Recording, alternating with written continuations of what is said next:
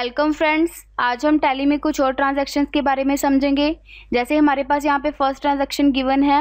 On nineteen July 2012 goods purchase from Anil of rupees nine thousand half the amount paid in cash means 19 जुलाई 2012 को हमने good purchase की अनिल से नौ हज़ार रुपये के और उसकी हाफ़ पेमेंट है हाफ़ अमाउंट को हम पे कर चुके हैं कैश में। अब हम देख सकते हैं जो हमारे पास यहाँ पे टू एंट्रीज़ हैं। फ़र्स्ट एंट्री में हमने बताया है कि हमने परचेज़ किया है अनिल से गुड्स परचेज़ किए हैं हमने अनिल से। और सेकेंड एंट्री में हमने बताया है कि जो अनिल को हमने पेमेंट की है, वो कैश में पेमेंट की है। इस तरह हमारे पास दो एंट्रीज बनती हैं। फ़र्स्ट एंट्री में हम देखते हैं जो परचेज़ है, वो यहाँ पे एक तरह का एक्सपेंस है। और एक्सपेंसेस को हम डेबिट साइड में एंटर करते हैं, क्योंकि यहाँ पे हमारा जो नॉमिनल अकाउंट रूल है, वो अप्लाई होता है। नॉमिनल अकाउंट रूल हमें ये बताता है ऑल एक्सपेंसेस और losses are enter in debit side and gains and profit are enter credit side इस तरह हमने परचेज एक्सपेंस और इसको हमने डेबिट साइड में एंटर किया है। अब हम सेकेंड एंट्री में देखते हैं, अनिल यहाँ पे हमारा गिवर है, क्योंकि हम परचेज कर रहे हैं अनिल से गुड्स तो अनिल हमें गुड्स दे रहा है। इस तरह जो यहाँ पे हमारा पर्सनल अकाउंट रूल अप्लाई होता है, अनिल हमारा यहाँ पे गिवर है और गिवर को हम क्रेडिट साइड में एंटर करते हैं, इसीलिए हमने अनिल को क्रेडिट साइड में एंटर किया है।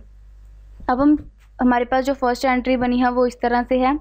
Purchase account debit nine thousand to Anil nine thousand अब हम सेकेंड एंट्री को रीड करते हैं। यहाँ पे हम देख सकते हैं जो अनिल है, वो यहाँ पे रिसीवर है क्योंकि उसको हम पेमेंट दे रहे हैं, वो वो पेमेंट रिसीव कर रहा है। अब हम यहाँ पे हमारा personal account rule again apply होता है।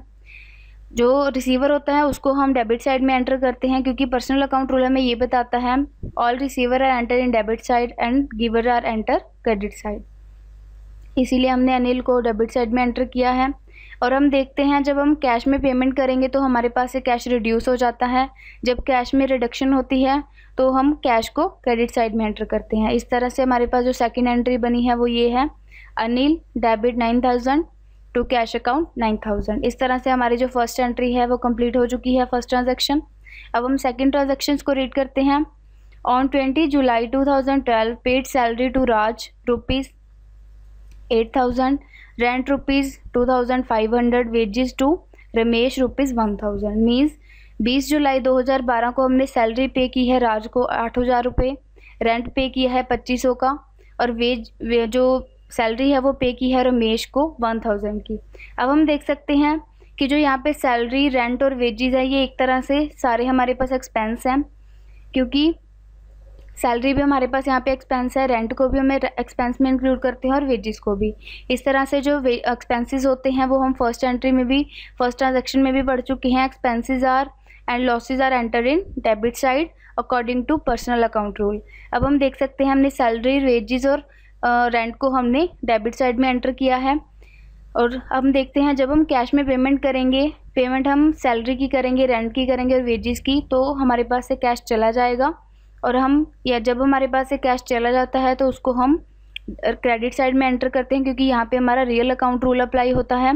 रियल अकाउंट रूल हमें ये बताता है debit word comes in and credit word goes out जो चीज़ हमारे पास से चली जाती है, उसको हम क्रेडिट साइड में एंटर करते हैं। इस अकॉर्डिंगली हमारे पास जो एंट्रीज बनी है, वो इस तरह से हैं। Salary account debit eight thousand यहाँ पर हम वो अमाउंट देंगे जो हमें ट्रांजेक्शन में गिवन है। अब हमारे पास रेंट है। Rent account debit two thousand five hundred जो इसकी एंट्री भी इसकी वैल्यू भी हमारे पास गिवन है wages account debit one thousand यहाँ पे भी इसकी वैल्यू गिवन है। टू कैश अकाउंट इन दिनों का हम प्लस करके जो हमारे पास अमाउंट आएगी, वो हम कैश अकाउंट में एंटर करेंगे ट्वेल्व थाउज़ेंड फाइव हंड्रेड इस तरह से हमारे पास जो सेकंड ट्रांजैक्शन है, वो कंप्लीट हो चुकी है। अब हम थर्ड ट्रांजैक्शन को रीड करेंगे। On twenty three July two thousand twelve rent due to land landlord rupees one thousand अब हम इस एंट्री को ध्यान से रीड करते हैं। तेईस जुलाई दो हज़ार बारह को जो रेंट है, जो ड्यू था, वो हमने लैंडलॉर्ड को पे किया है वन थाउज़ेंड का। अब हम देख सकते हैं ड्यू मतलब यहाँ पे है पे नहीं किया हमने। मतलब रेंट था जो हमने पे नहीं किया, वो वन थाउज़ेंड का था। अब हम देखते हैं यहाँ पे हमने जो सेकंड एंट्री बनाई है, वो है रेंट आउटस्टैंडिंग की। अब हम सबसे पहले यहाँ पे आउटस्टैंडिंग को रीड करते हैं। यह हमारे पास वो करंट ईयर यह हमारे पास वो अमाउंट होती है जो करंट ईयर से रिलेटेड होती है, जिन्हें हम करंट ईयर के एंड तक पे नहीं करते, उसको हम रेंट आउटस्टैंडिंग बोल सकते हैं। अब हम देखते हैं कि जो रेंट है, हमने सेकंड एंड सेकंड ट्रांजैक्शन में भी रीड किया है। रेंट है जो फ़र्स्ट एंट्री में है हमारा, उसको हमने डेबिट साइड में एंटर किया है, क्योंकि रेंट हमारे पास यहाँ पे एक तरह का एक्सपेंस है। इसीलिए एक्सपेंसेस को नॉमिनल अकाउंट रूल के अकॉर्डिंग हम डेबिट साइड में एंटर करते हैं। अब हम देखते हैं कि जो सेकंड एंट्री हमारी रेंट आउटस्टैंडिंग अकाउंट इसको हमने क्रेडिट साइड में एंटर किया है, क्योंकि जो हमारा कैश है वो कम हो चुका है। इस तरह हमारे पास जो एंट्री बनी है, वो इस तरह से है rent account debit one thousand to rent outstanding account one thousand अब हम लास्ट ट्रांजेक्शन रीड करते हैं। On twenty fifth July two thousand twelve paid income tax rupees eight thousand means पच्चीस जुलाई दो हज़ार बारह को इनकम टैक्स पे किए गया है आठ हज़ार रुपये का। अब हम देखते हैं जो इनकम टैक्स है उसको हम ड्राइंग अकाउंट के अंडर लेते हैं, क्योंकि जो इनकम टैक्स होता है, वो किसी पर्सनल यूज़ के लिए यूज़ करते हैं। इसे हम बिज़नेस के प्रॉफिट में से पे करते हैं।